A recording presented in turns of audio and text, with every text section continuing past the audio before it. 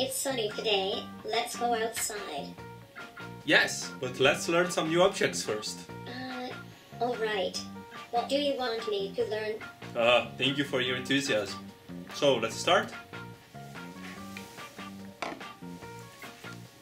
Show me the banana. Nice joke. I don't know what a banana is. This is the banana. I will try to remember the banana.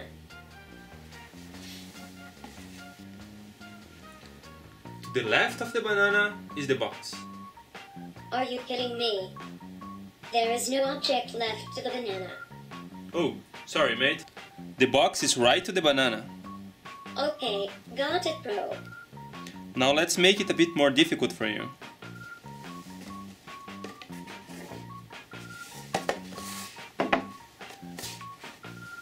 First, show me the box. Then, point to the banana.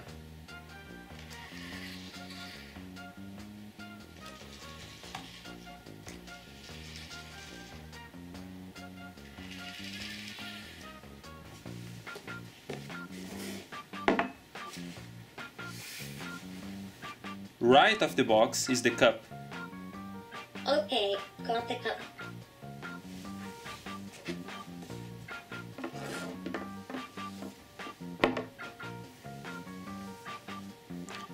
Before pointing to the cup, show me the box.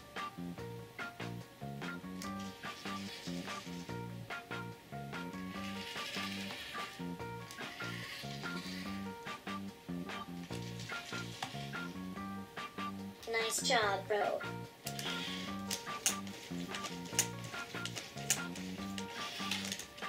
That was easy. Now let's go outside. For this demonstration, three projects were integrated. We apply scene understanding techniques to extract the objects of interest captured by an RGBD device. The objects are then rotated in several orientations to provide more samples to train our convolutional neural network. This neural network applies convolutions to these inputs to obtain a layer of feature maps. A max pooling layer is used to get scale invariant features.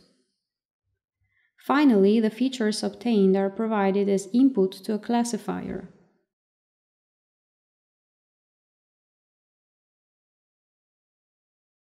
To the left of the cup is the box.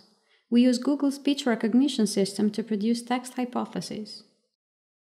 The 10 best results from Google are transformed to phoneme sequence by a grapheme to phoneme converter.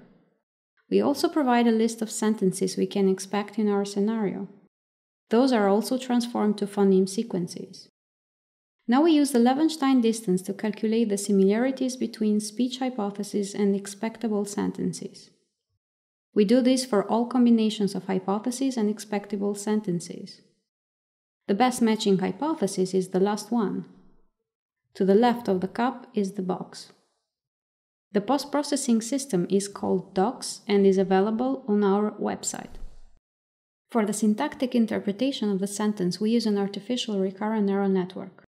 This neural network was taught to link the structure of sentences with the structure of their meanings. Here is an example of how training phase works.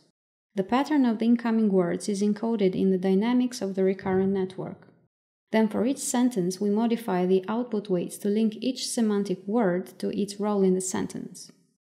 Here is an example of how the activity of neurons looks like when interpreting a sentence. The syntactic interpretation system is available on our website. Amanhã aprenderemos português. Oh man,